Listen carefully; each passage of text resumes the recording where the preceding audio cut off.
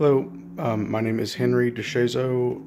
Um, today is January 12th, 2018.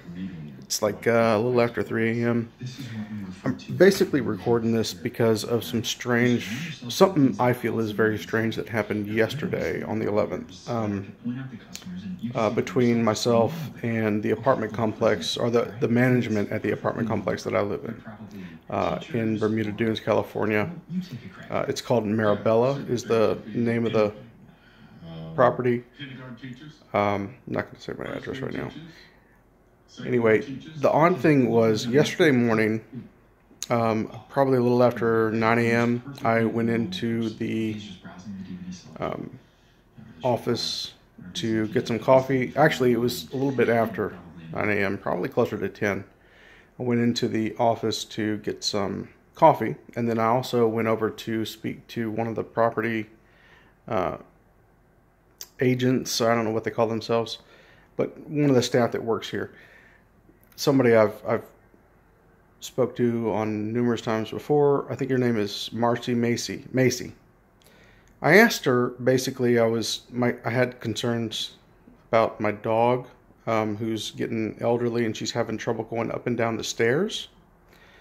So I popped in to get some coffee, and then I asked Macy about what it takes. You know, um, how much does it cost, and what does it do to the lease if I move to a downstairs apartment. She gave me some preliminaries, said she'd keep an eye out and then let me know about when they open up and, you know, similar floor plans. And that was that. That was yesterday, early yesterday morning. Well, early opposed to now. A couple hours later, actually several hours later, I was out with my dog. I was walking her through some, um, uh, one of the big fields near one of the pools when two of the property management staff approached me with a letter. Now, in this letter, um, basically, before they handed it to me, uh, it was obviously folded up and in an envelope.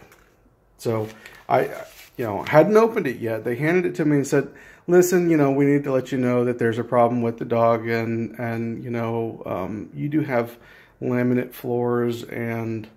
You know, maybe, you know, stop playing with the dog. It's a little loud or something similar to that.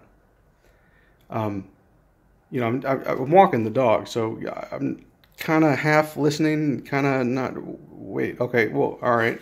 I'm thinking she's going to tell me about a property that's, uh, you know, one of the other lower apartments, um, uh, up or downstairs apartments that maybe I could move into like that quick. Okay. Anyway, she gives it to me she tells me all that about um, the noise, and I say, okay, well, what specifically? Because you know, I'm, you know, is it is it playing around upstairs, or is the dog barking outside, or what's the complaint so I can address it? Well, we'll find out. Blah blah blah. So anyway, I go home. I take a look at the letter, and firstly, I see three-day notice to perform conditions and or covenants or quit. So this is a three day notice to either do this or get out, basically.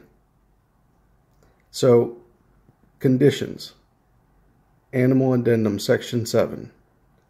Before I go on to that, number two. So these violations regularly disturbs residents whether inside or outside. Please see attached. Okay, so let me look at the attached Animal Addendum. Number seven. Number seven. Disturbance. Residents will be asked to remove any animal that regularly disturbs residents, whether inside or outside. Is a problem or obstruct? Basically, hours after I asked if I could move my, you know, move down to a downstairs apartment because my dog is getting too elderly to come upstairs, I'm handed a notice saying I either have to give up the dog or move out within three days based on her regular disturbance. This is the first time I've ever heard of any complaint regarding my dog or myself in any kind of noise fashion at all. So I'm just recording this today to make sure that there's a record before I go and talk to these people and find out from their staff and their management exactly what is the problem and how it can be addressed without going to such heavy handed lengths. Again, this is now January 12th, 2018. Probably 3:07 a.m. So it's only taken me about seven, eight minutes to record this video. Um, I'm just doing this ahead of time before I go and speak to these people because it's awfully strange coincidence that this would happen on the day, the hours after the I ask if I can move downstairs. It's just so bizarre.